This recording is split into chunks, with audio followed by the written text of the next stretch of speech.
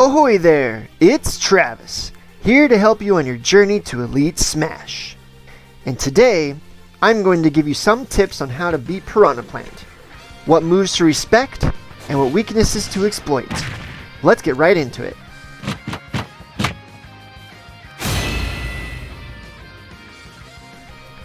The first move to respect is his neutral special, the Spike Ball of Death.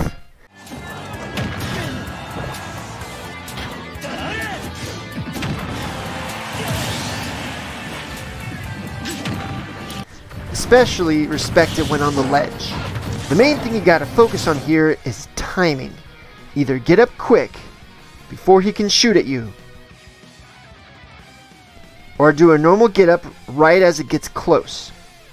Time it just right when you're invincible. Avoid doing jump get ups and roll get ups.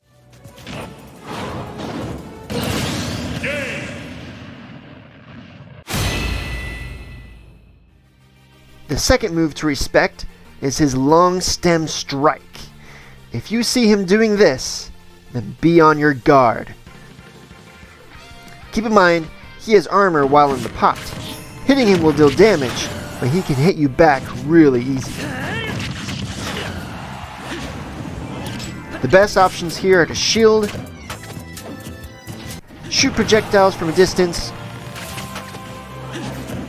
or grab.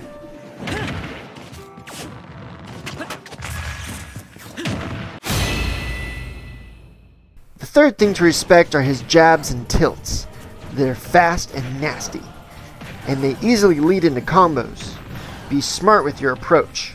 If you whiff or hit his shield, he deals a nasty punish. Piranha Plant makes for a good defensive player, so make sure you space yourself well against him. Time your approach, whether from air or ground, and attack when it's the right moment.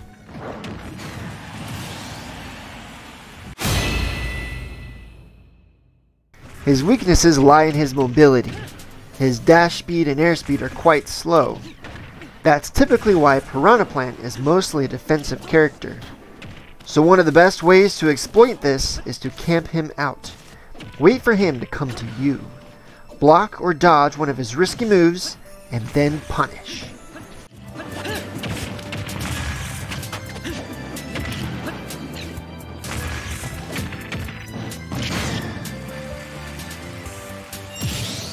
And that's it for now. I may make another video on Plant as time passes and people get better at using him. thanks for watching. Please hit the like and subscribe buttons, and I'll see you in the next video. Later!